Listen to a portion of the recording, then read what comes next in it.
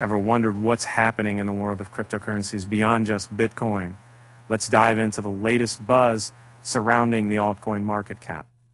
Uh, recently, there's been a lot of optimism about the altcoin market cap uh, rallying towards $425 billion. Um, this comes as many investors and traders are pouring money into various altcoins in anticipation of the bull run.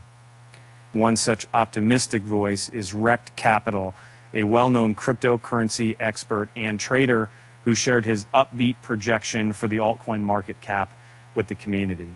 According to him, we could see significant growth in the near future due to the advancements shown by the alt season index. Um, but how did we get here?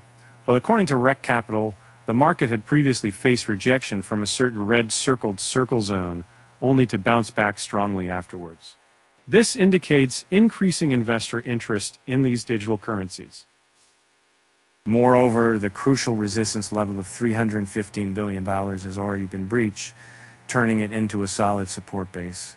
With all these factors aligning, Rekt Capital predicts that the altcoin market cap may hit the $425 billion threshold soon.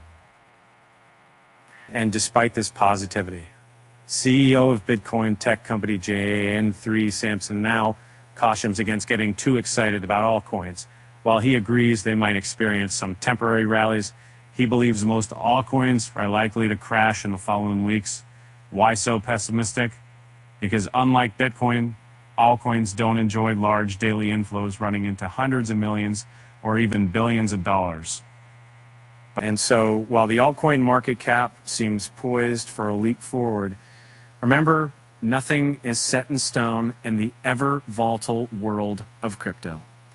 Now, with that said, thanks for watching and stay tuned for more updates.